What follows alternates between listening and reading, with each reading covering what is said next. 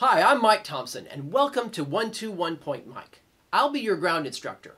I've been an aviation junkie all my life and a pilot since 2004. I am thrilled to be able to pass on my love for aviation, and my goal is to produce high quality content that will help you understand aviation concepts. I want to provide you with the theory and the practical knowledge that you can apply in real life, not just on your FAA test. Let's start with some aviation knowledge right now. I'm going to explain what my logo is all about. It's laced with aviation meaning. So obviously it looks like pilot's wings, doesn't it? Uh, but the bottom feathers are broken. What's with that? Well, the wings are modeled after hold short lines, which mark the entrance to runways, and which you may not cross unless you're cleared to. Hold short means do not cross. Um, however, as you're reading it, it shows go.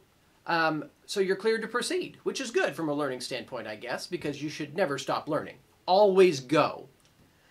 And just like the yellow lines in the middle of a highway, you may pass when the dash lines are on your side, and you may not pass when the solid lines are on your side. So that's why the dash lines are on the side of the runway and the solid lines are on the side of the taxiway.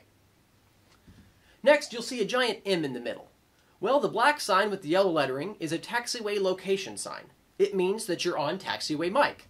Mike is the phonetic way to say the letter M on the radio, and it also happens to be my name. Convenient, huh?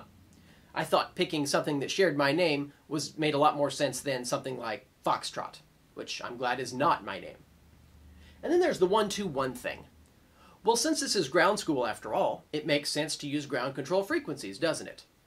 When you tune a radio, there's a part to the left of the decimal point and a part to the right. Ground control frequencies start with 121. Uh, there would be a number over here, but I wanted to create a meaningful brand. So I said 121 Mike rather than 121.6. So there. And why all the black and yellow? Well, because those are the FAA official colors. So now you know something about aviation that you might not have known two minutes ago. There's an awful lot more to come. So go ahead and subscribe, or connect with me down on PalTap for a quick video chat. And stay with me on 121 Mike.